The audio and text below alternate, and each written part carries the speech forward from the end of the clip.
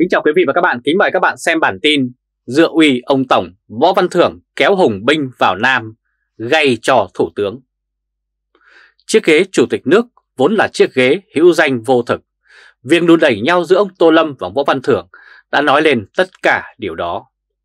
Ghế Chủ tịch nước hữu danh vô thực không ai muốn ngồi, cũng vì không có thực quyền nên không có khả năng chống đỡ, cho nên ông Trần Đại Quang mới thiệt mạng và ông Nguyễn Xuân Phúc mới bị đá văng nhanh đến như vậy. Ông Võ Văn Thưởng là một phụ tá cho ông Nguyễn Phú Trọng, điều đó ai cũng đã biết. Ông Thưởng ngồi vào ghế chủ tịch nước thì quyền lực cũng chẳng khá hơn ông Nguyễn Xuân Phúc trước đây. Khác chăng là ông Thưởng được ông Nguyễn Phú Trọng ủng hộ, còn ông Nguyễn Xuân Phúc thì bộc ông Nguyễn Phú Trọng xem là cái gai trong mắt, cần phải nhổ càng sớm càng tốt. Và cuối cùng kết quả như thế nào thì người dân cả nước cũng đã thấy ngay trước Tết ông bị đá ngay bay ra khỏi ghế. Đây là hình ảnh ông Võ Văn Thưởng kéo hùng binh tấn vào Nam. Trước khi bị phế truất có hai giai đoạn, ông Nguyễn Xuân Phúc đi công tác bất kỳ nơi đâu cũng bị Phan Đình Trạc kè kè đi sau như là giám sát vậy. Ông Phan Đình Trạc đi cùng với danh nghĩa là Phó Thường trực Ban Chỉ đạo Cải cách Tư pháp Trung ương.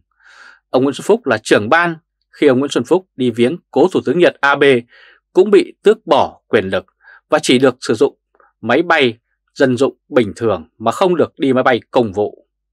Nói chung, ông Nguyễn Xuân Phúc bị tấn công nhưng ông lại không có khả năng tự vệ để bảo vệ mình và gia đình của mình. Có lẽ trường hợp ông Võ Văn Thưởng khác với ông Nguyễn Xuân Phúc bởi ông Thưởng không có kẻ thù quá lớn như ông Nguyễn Xuân Phúc. Mà ngược lại ông Thưởng lại có người đỡ đầu quá mạnh. Chính vì thế ông Thưởng hoàn toàn có thể dùng cách cáo mượn oai hùng để mà thụy uy với các quan chức trong cả nước. Và chỉ có như thế thì ông Võ Văn Thưởng mới không bị người khác khinh thường như ông Nguyễn Xuân Phúc đã từng bị. Sau 10 ngày ngồi đến chiếc ghế ế, ông Võ Văn Thưởng lần đầu tiên đã xuất quân tiến vào Sài Gòn với danh nghĩa là dự chỉ đạo tổng kết 10 năm thực hiện chiến lược bảo vệ Tổ quốc tại thành phố Hồ Chí Minh. Đi theo ông Thưởng là những tay to mặt lớn như Lê Khánh Hải, Ủy viên Trung ương Đảng, chủ nhiệm Văn phòng Chủ tịch nước, Phạm Hoài Nam, Thượng tướng, Ủy viên Trung Đảng, Thứ trưởng Bộ Quốc phòng, ông Trần Việt Khoa, Thượng tướng, Ủy viên Trung Đảng, Giám đốc Học viện Quốc phòng, Trung tướng Nguyễn Hải Hưng, Trung tướng Phó chủ nhiệm Ủy ban Quốc phòng và An ninh của Quốc gia, Quốc hội. Đây là hình ảnh ông Võ Văn Thưởng tại thành phố Hồ Chí Minh. Như vậy là tháp tùng ông Võ Văn Thưởng có cả bên quốc phòng và bên quốc hội. Tiếp đó, ông Võ Văn Thưởng thì cũng phải hùng hậu, tương xứng như thế. Bên phía quân khu 7 có Nguyễn Tưởng Thắng, Trung tướng, Ủy viên Trung ương Đảng, Tư lệnh quân khu 7. Phía chính quyền của thành phố Hồ Chí Minh có ông Nguyễn Văn Nên, Bí thư Thành ủy thành phố Hồ Chí Minh, ông Phan Văn Mãi, Phó Bí thư thường trực Thành ủy, kiêm Chủ tịch Ủy ban nhân dân thành phố. Bà Nguyễn Thị Lệ, Phó Bí thư Thành ủy, Chủ tịch Hội đồng nhân dân thành phố Hồ Chí Minh và ông Nguyễn Hồ Hải, Phó Bí thư Thành ủy thành phố Hồ Chí Minh. Khác với những người tiền nhiệm đi trước, đi đầu cũng bị giám sát chặt chẽ. Nhưng lần này ông Võ Văn Thưởng kéo hùng binh vào Nam cho thấy ông Thưởng đang có nhiều người bầu theo muốn kéo quan hệ gần gũi hơn. Vậy thì tại sao giữa ông Võ Văn Thưởng và ông Nguyễn Xuân Phúc lại có sự khác nhau xa đến như vậy? Đấy chính là cái uy của Nguyễn Phú Trọng. Là người được Nguyễn Phú Trọng dọn đường nên ai cũng muốn bám theo ông Thưởng cả. Có thể ông Võ Văn Thưởng không đủ quyền lực để ban tước, ban bổng lộc, nhưng ý kiến của Võ Văn Thưởng với Nguyễn Phú Trọng có trọng lượng không hề nhỏ. Đây là hình ảnh tiền nhiệm của ông Võ Văn Thưởng, ông Nguyễn Xuân Phúc thì bị hắt hủi. Ông Nguyễn Văn Nên là cánh tay nối dài của Nguyễn Phú Trọng thì đã quá rõ ở miền Nam. Nhưng còn ông Phan Văn Mãi, câu hỏi đặt ra, ông này cũng cần bắt cầu đến với ông Tổng Bí Thư để an toàn hơn hoặc có cơ hội lớn hơn mà tiếp xúc với Tổng Bí Thư thì đâu phải dễ. Tiếp xúc rồi mở lời cũng càng dễ hơn. Nhưng điều đó không khó với ông Võ Văn Thưởng. Ông Võ Văn Thưởng dù sao cũng là người miền Nam, trẻ và ông dễ nâng đỡ người miền Nam hơn. Xem ra Võ Văn Thưởng không hề yếu đi dù chức chỉ là sở hữu, hữu danh vô thực. Nếu Võ Văn Thưởng đối đầu với Phạm Minh Chính thì ông có thể gây khó khăn không hề nhỏ cho ông Thượng tướng đường nhiệm.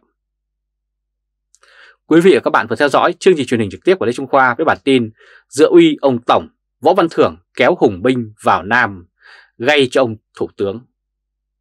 Quý vị và các bạn hãy chia sẻ video này cho nhiều người biết và bấm nút theo dõi YouTube và Facebook của Thời báo d để luôn được cập nhật những bản tin mới nhất, nhanh nhất và trung thực nhất. Từ Berlin, Cộng hòa Liên bang Đức chào các bạn và hẹn gặp lại các bạn ở bản tin lần tới. Trung Khoa Thời báo d Kính chào quý vị và các bạn, kính mời các bạn xem bản tin Đinh Văn Nơi mai sắc đồ chơi sau vụ bắt Đỗ Hữu Ca, tướng nơi sẽ nhắm vào ai đây? Vụ bắt ông Đỗ Hữu Ca là vụ việc gây tiếng vang lớn nhất từ khi ông Đinh Văn Nơi tiếp nhận chiếc ghế giám đốc công an tỉnh Quảng Ninh.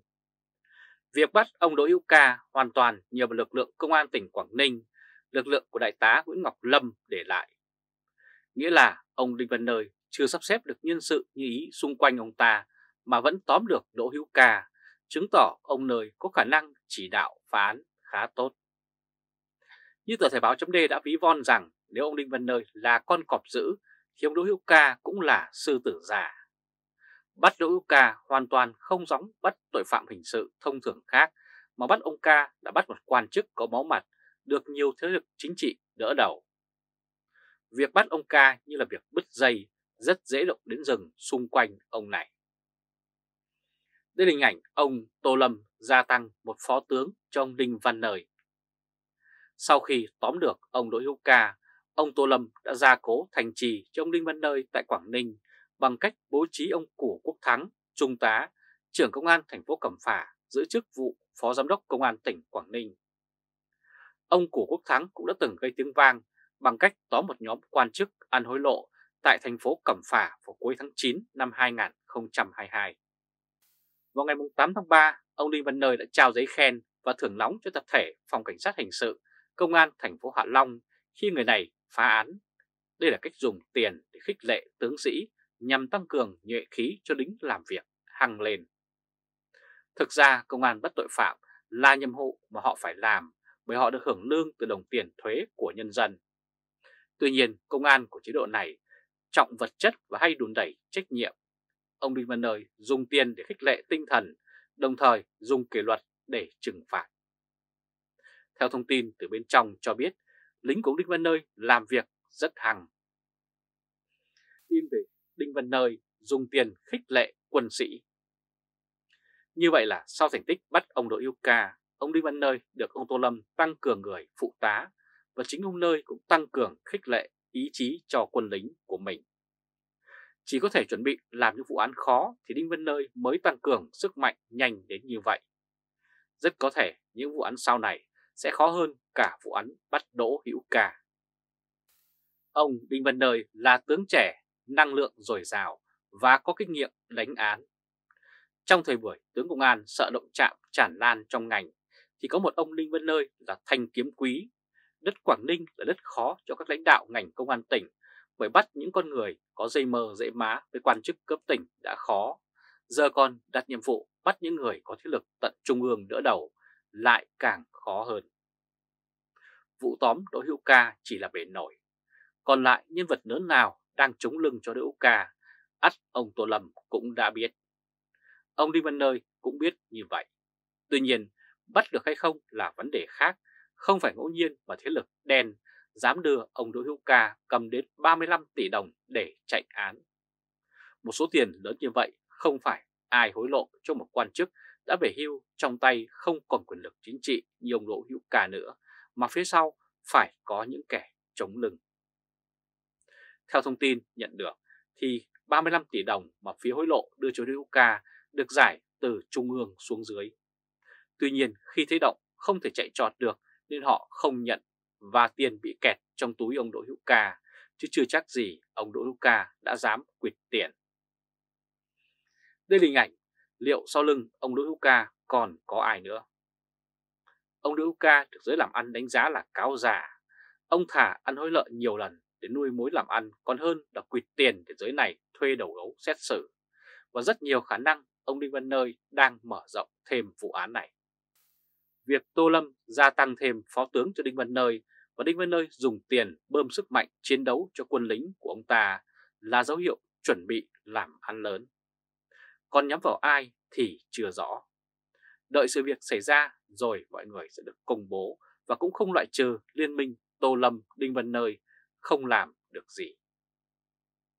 Quý vị và các bạn vừa theo dõi chương trình truyền hình trực tiếp của Lê Trung Khoa, Thời báo chấm với bản tin Đinh Văn Nơi mai sắc đồ chơi sau vụ bắt Đỗ Hữu Ca, tướng Nơi sẽ nhắm vào ai đây?